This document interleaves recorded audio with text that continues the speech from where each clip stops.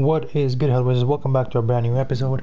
Today we're doing another episode that I love so much, the Seasons Prestige Master. Now, yesterday we looked at Season 1 Prestige Master, and today we're looking at Season 2 Prestige Master.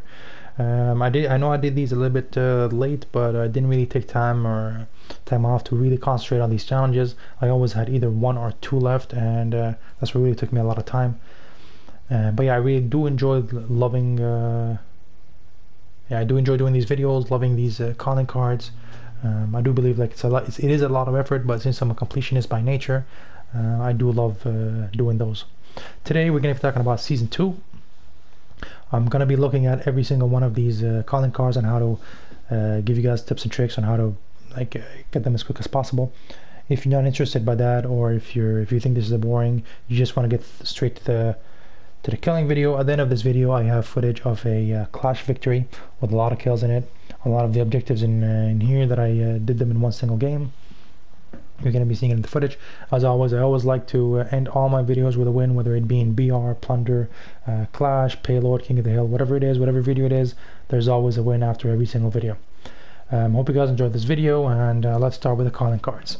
Protective Overwatch, using a sniper rifle to kill an enemy who was injuring a teammate 10 times. Now, I first started doing this in uh, BR. I thought it was a good idea, but it was leveling up very slow because you got to make sure that you shoot the guy while he's shooting at your teammate.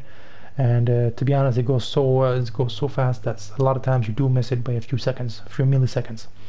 So the best way to get this is actually by playing one of the special events, such as King of the Hill, or even um, Payload. I'm not sure about Clash because Clash is very chaotic. People are always using these uh, meta guns. But for Payload, a lot of snipers are over there, so you have a higher chance of running into a sniper. As well as um, as well as King of the Hill. King of the Hill, you have a lower chance. so I think the highest chance of you uh, getting these as quick as possible would be Payload. Hard drop. Kill an enemy shortly after skydiving five times. Again, this one, the uh, I mean, you can do them in BR, especially if you end up behind someone, pistol weapon in uh, Plunder 2 since you have your loadout, but the fastest way possible would be to get it in either in payload or clash mode, even King of, King of the Hill, because you can just land anywhere you want. Uh, a lot of respawns, unlimited respawns, so uh, it does increase your chances of getting uh, 25 times uh, these kills. Guerrilla Warfare, get 100 eliminations using a weapon that you have picked up. Now this one I have to actively go for it because I'm not really into picking up people's loadouts. Sometimes they're shit, sometimes they're good. Uh, but again, a great way to do this in the background, of course, is BR. Just as soon as you kill people from the start, they have loadout, grab it, and get as many kills as possible. I think that's how uh, I got the majority of these because uh, I was playing a lot of BR, especially Resurgence. Um, I'm not a big fan of uh, Verdansk, but I'm a huge fan of Rebirth Island.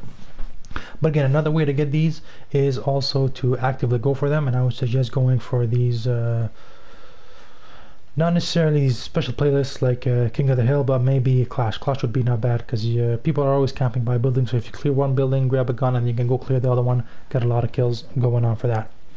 You have clean kill, kill enemy without taking damage 100 times. Again, this one is either you're sneaky, come from the back, shoot people. There isn't really any tips or tricks for it. Maybe dead silence could help, uh, but again, for the 100 kills, the best way to do them in these uh, high chaotic games. Suppressing fire, give 500 eliminations with an LMG. LMG is great if you're playing Clash. Um, you just destroy people in LMG. You don't even need to reload. Uh, people die much quicker than is either Plunder or BR. You can even play with payload. Go on top of the um, of the truck. I mean, sorry, on the back of the truck and mount it to the side of the truck and just shoot people down. Brup, brup, get 100 multi kills with SMGs. Um, this one really the best way to do these multi kills is either, for me to be honest, is in Plunder. Uh, even in BR, you down one guy, wait for his teammate to come and get him, and then shoot him. That's how you get a collateral and you get a uh, team wipe.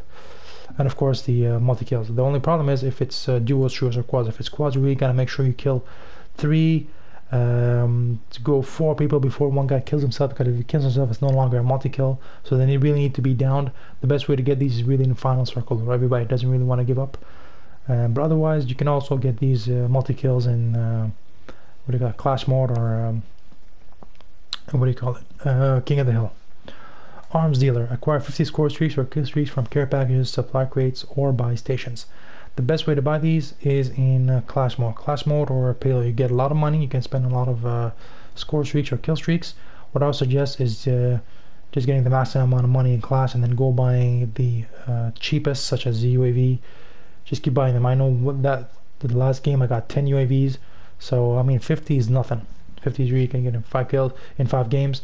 Uh, before all these special playlists, we used to do these in uh, Plunder, and that would take a lot of time because you would have to sacrifice 4,000 for a single UAV, so it did take a lot of time. Shield, to get 50 point blank kills with shotguns. Uh, I'm not a big shotgun fan, but the best way to get these is actually in uh, in Plunder or BR. If you don't have your loadout, use it as secondary. Down the guy, get up close and personal, and shoot him. Similar to uh, point blank kills, uh, even though a lot of these uh, chaotic gameplays offer more chances, but the chances of you getting up close and personal with somebody without somebody else seeing you is very slim. So BR and uh, Plunder would be your best bet. Cybersecurity threat using the spycraft or spotter kill enemy with a hacked field upgrade. Now this one, the small tip and trick that uh, you can have is actually, of course, if you're not playing multiplayer because it's super easy, but if you're playing Warzone, is to play um, payload. For some reason, payload there's a small glitch in there that since if you're killing people and you have a lot of uh, perks going on, if you throw a uh, field uh, upgrade such as the um, what do you call it, the uh, trophy system, and actually blocks all these uh, uh, grenades, sometimes it's going to kill the enemy. So if it kills the enemy, even if it's your own, it's not supposed to work, but it does work. At least this is how I unlocked the cybersecurity thread. Um, I don't know until when this glitch is going to be there, but it's going to help. If it doesn't help, uh, it's going to be very, very complicated for you guys to get this in Warzone. Multiplayer is very easy, just hack a field upgrade, wherever it is, a mine or something, and it's going to kill people. Incendiary Warfare, get 15 kills with a Molotov lethal equipment. Again, this one, either you down people in Plunder, finish them off with the Molotov cocktail, or play one of these uh, Clash modes. Clash mode is great, a lot of people are camping inside buildings. Uh, their health is very low, even in payload. So just throw the uh, Molotov cocktails strategically and you're going to get a lot of amount of kills. Good ammunition. Get kill 50 enemies while using ammo acquired from the salt pack or ammunition box. This one's really something you can let uh, happen in the background. Um, the best way also to get is to, um, when your teammates use your ammunition box and kill people, it does count for you. So if you have teammates, just make sure they always grab your uh, ammunition from your ammunition box. Deception. Kill 25 enemies that are near or close to active decoy grenades. This one I actually got it uh, in the background just by playing, um, what do you call it? Just by playing BR. Uh, you don't have uh, any uh, attachments, any guns. You just have your basic ground loot. You throw it in one direction, and people are gonna go there and try to make sure that you you get them from the back. Another great way to do it is to play these uh, clash modes, especially when you have to uh, uh, what do you call it? Get these recon or these ABC locations. You have to secure them. Just throw in the middle. It doesn't have to be anywhere else or really next to the enemy. Just throw in the middle and just kill everybody who's next to that area who's trying to secure the the point and this is to count. So it's to be super easy. 25 enemies is nothing. You can even do these in, I would say, okay, two games if we're being reasonable. Bump in the road using proximity mines to destroy five enemy ground vehicles. This one is one that I love the most just because it's uh, so it's one of these uh, that you can just clip it and put it online to to be a troll. You know what I mean? All you gotta do is throw your. What I do is I put two proximity mines in front of me, and then I pretend like I'm running away from the truck or the car, and they always fall for it, and they end up being destroyed. You can always uh, put these if you don't want to really focus on uh, trying to lure someone in. Put them in the streets where it's really narrow or ones that you know there's a lot of traffic such as downtown or maybe even that bridge between downtown and uh, uh what do you call it, Promenade East. Toxic behavior. Kill 50 enemies with gas grenades or who are affected by gas grenades. Now I have to admit this one is pretty difficult to get. It's uh, you need a lot of patience. You down someone, gas them, and then finish them off before he even realizes.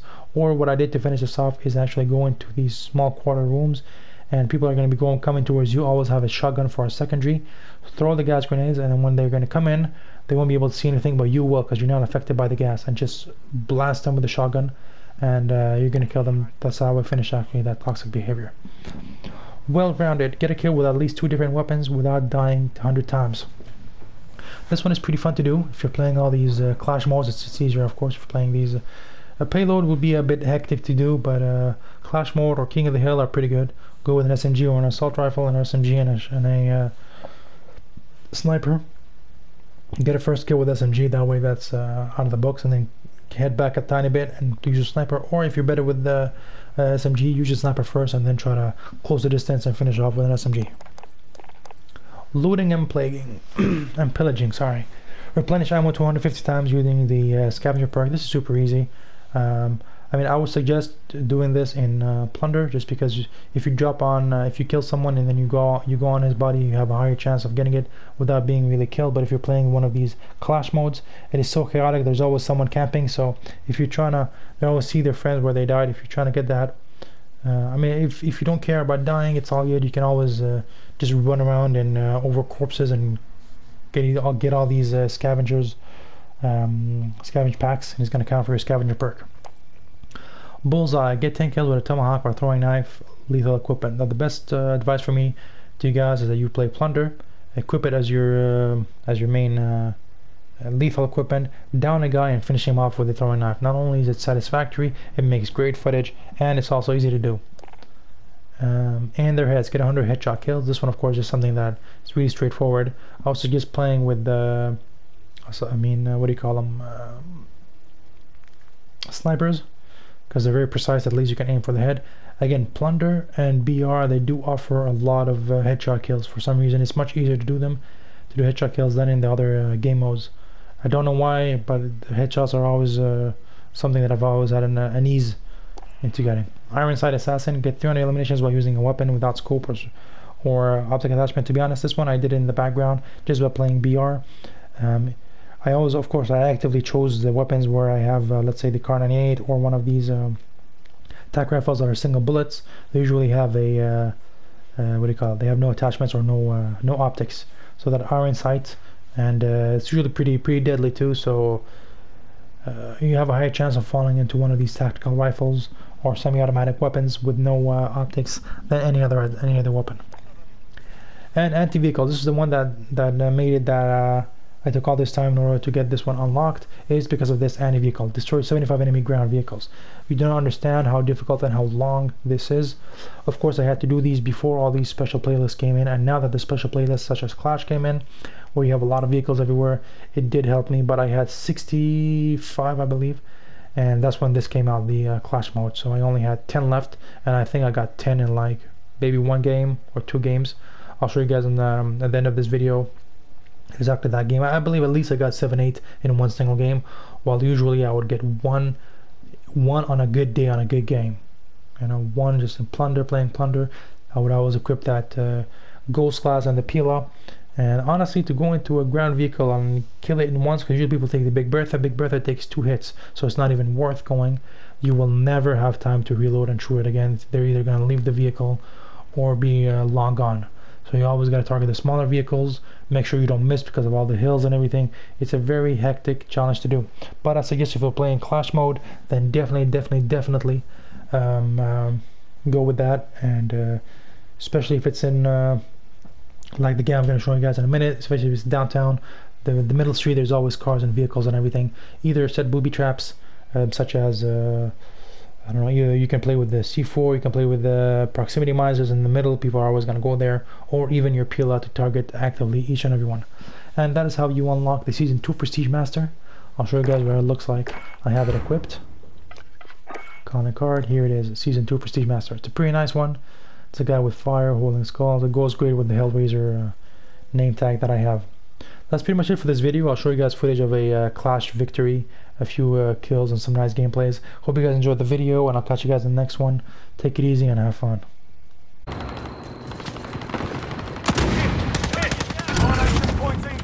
Explosive. Hostile dropped.